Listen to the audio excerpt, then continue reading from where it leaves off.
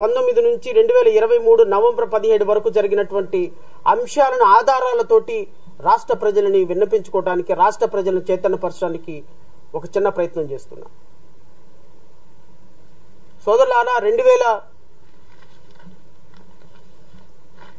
పంతొమ్మిదవ సంవత్సరంలో ఈ రాష్ట్ర ప్రభుత్వం రావటం రావటంతోనే మీ అందరికీ తెలుసు నేను ఎందుకు శ్రీరాముడు కప్ప అంశాన్ని మీ ముందు ప్రస్తావించాను అంటే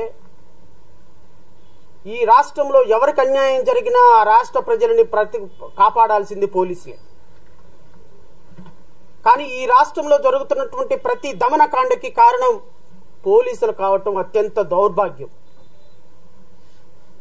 ఈరోజు ఈ రాష్ట్రంలో మాట్లాడుతున్నటువంటి సోకాల్డ్ సోదరులందరూ కూడా నేను వాళ్ళందరినీ ఒకటే ప్రత్యేకంగా ప్రస్తావిస్తాను నేను. వైసీపీ నాయకులు వైసీపీ అధికార పీఠం మీద కూర్చున్న మంత్రులు ఎమ్మెల్యేలు ప్రతి ఒక్కడూ దీనికి సమాధానం చెప్పి తీరాల్సిందే. రెండు వేల ఇరవై నాలుగో సంవత్సరంలో మిమ్మల్ని మీ బట్టలు ఇప్పదీసి రోడ్డు మీద ఊరేగించే గాడిదల మీద ఊరేగించే రోజు అతి త్వరలో ఉంది అని మీరు గుర్తుపెట్టుకోండి.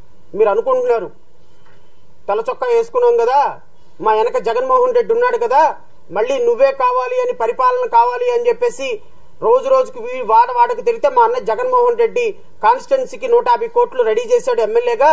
మమ్మల్ని గెలిపించుకుంటాడు జగన్మోహన్ రెడ్డి. జగన్మోహన్ రెడ్డి ఒక మాట మాట్లాడితే వేలాది ఓట్లు లక్షలాది ఓట్లు ఓటు బాక్సులు పడిపోతాయి. దళితులందరూ మైనార్టీలందరూ ముస్లింస్ అందరూ బేవర్సాగాళ్ళు బచ్చాగాళ్ళు వాళ్ళు ఎలాగైనా మనకు ఓట్లేస్తారు అనేటువంటి అనాలోచిత నిర్ణయాల్లో ఉన్నారు కదా.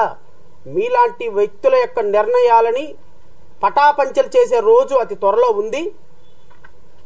మా దళిత బిడ్డలు మా వెనుకబడిన బిడ్డలు మా ఏమి చేయగలరో అతి త్వరలో మీరు చూస్తారు. సోదరులారా ఈ రాష్ట్రంలో ఈ ఒక ఫోటో చూడండి.